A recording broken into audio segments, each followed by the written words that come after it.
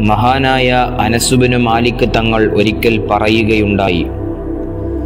അറിവിന്റെ വിഷയത്തിൽ ജനങ്ങൾ നാല് തരക്കാരാണ്. അതിൽ ഒന്നാമത്തെ വിഭാഗം ആലിമീങ്ങളാണ്.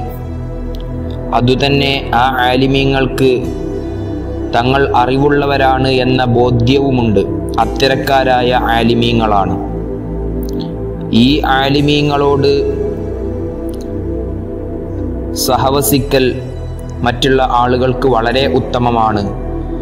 അവരിൽ നിന്നും പല കാര്യങ്ങളും നമുക്ക് മനസ്സിലാക്കാനുണ്ട്. ചോദിക്കാതെ തന്നെ തരുന്ന വെള്ളം പോലെയാണ് ഇത്തരക്കാരായ ആലിമീങ്ങൾ. മറ്റൊരു വിഭാഗം ആലിമീങ്ങൾ തന്നെയാണ്. പക്ഷേ താൻ ആലിമാണ് എന്ന ബോധ്യം അവനിക്ക് ഇല്ല. അഥവാ അത് അവനിക്കറിയില്ല. അവൻ ആലിമാണ് പക്ഷേ ആലിമാണ് എന്ന ബോധ്യം അവനിക്ക് ഇല്ല. അത്തരത്തിലുള്ള ആളുകളാണ് രണ്ടാമത്തെ വിഭാഗം. ഈ ആളുകളും മേൽപ്പറഞ്ഞതുപോലെ ഇവരോട് അടുത്താൽ വളരെ അധികം ഉപകാരങ്ങൾ മറ്റുള്ളവർക്ക് ലഭിക്കുന്ന ആളുകളാണ്. ഇത്തരക്കാരായ ആളുകളോട് ചോദിക്കുമ്പോഴാണ് അവരിൽ നിന്നും അറിവുകളും മറ്റും ലഭിക്കുന്നത്. അവരെ സാദൃശ്യപ്പെടുത്തുന്നത് ചോദിച്ചാൽ ലഭിക്കുന്ന അന്നപാനീയങ്ങളോടാണ്. മറ്റൊരു വിഭാഗം അഥവാ മൂന്നാമത്തെ വിഭാഗമായിട്ട് മഹാനായ അനസുബിന് മാലിക് തങ്ങൾ ഓർമ്മപ്പെടുത്തുന്നത് വിഡ്ഢിയാണ്. പക്ഷേ ആ വിഡ്ഢി അവനിക്ക് അറിയാം. അവൻ ജാഹിലാണ് എന്ന് അവനിക്കറിയാം അവൻ വിഡ്ഢിയാണ് എന്ന് അവനിക്കറിയാം അത്തരത്തിലുള്ള വിഡ്ഢിയാണ് മൂന്നാമത്തെ വിഭാഗം. ഇവന്റെ പ്രത്യേകത എന്താ എന്ന് ചോദിച്ചാൽ ഇവനെ ഇവനോട് മറ്റുള്ളവർക്ക് അടുക്കാം. പക്ഷേ ഇവനെ ഇവനിൽ നിന്ന് ഉപകാരം ലഭിക്കണമെങ്കിൽ ഒരുപാട് പ്രവർത്തികൾ നാം ചെയ്യേണ്ടിയിരിക്കുന്നു.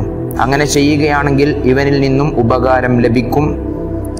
അത്തരത്തിലുള്ള വിഡ്ഢിയും താൻ വിഡ്ഢിയാണെന്ന് അറിവില്ലാത്ത അറിവില്ലാത്ത അറിവുള്ള വ്യക്തിയുമാണ് മൂന്നാമത്തെ വിഭാഗം. മറ്റൊരു വിഭാഗം അഥവാ നാലാമത്തെ വിഭാഗമായിട്ട് മഹാനായ അനസുബിന് മാലിക് തങ്ങൾ ഓർമ്മപ്പെടുത്തിയത്. അവൻ വിഡ്ഢിയാണ് എന്ന് മാത്രമല്ല അവനിക്ക് അവൻ വിഡ്ഢിയാണ് എന്ന ബോധ്യവും ഇല്ല. അത്തരത്തിലുള്ള ആളുകളാണ്. ഈ വിഭാഗക്കാരെ നാം പ്രത്യേകം മനസ്സിലാക്കേണ്ടതുണ്ട്. ഇവരോട് യാതൊരു കാരണവശാലും അടുക്കാൻ പാടുള്ളതല്ല. ഇവരോട് അടുത്തിട്ട് യാതൊരു കാര്യവും നമുക്കില്ല. നമുക്ക് ജഹൽ വർദ്ധിക്കുക മാത്രമാണ് ചെയ്യുക അഥവാ വിഡ്ഢിത്തം വർദ്ധിക്കുകയാണ് ചെയ്യുക. ഇവനോട് അടുക്കുന്നതിലും ഭേദം കഴുതക്ക് പുല്ല് അരിയുന്നതാണ്. ഈ മൂന്ന് വിഭാഗമാണ് അറിവിന്റെ വിഷയത്തിൽ ജനങ്ങളിലുള്ള നാല് വിഭാഗങ്ങൾ. ഇതിൽ അവസാനം പറഞ്ഞ രണ്ട് വിഭാഗത്തിൽ നിന്നും നമുക്ക് മനസ്സിലാക്കാൻ ഒരുപാട് കാര്യങ്ങൾ ഉണ്ട്.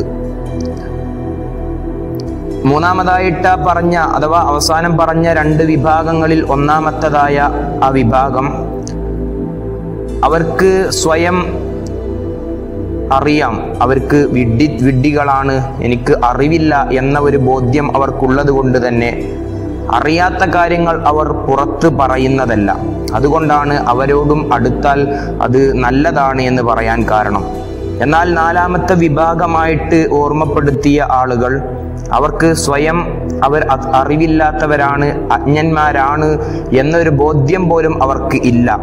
അതുകൊണ്ട് തന്നെ അവർ വായിൽ തോന്നിയതൊക്കെ വിളിച്ചു പറയുകയും അതിലൂടെ പല ബുദ്ധിമുട്ടുകളും ഫിത്തനകളും ഉണ്ടാക്കുകയും ചെയ്യും. അതുകൊണ്ടാണ് അവരോട് അടുക്കരുത് എന്നും പറയുന്നത്.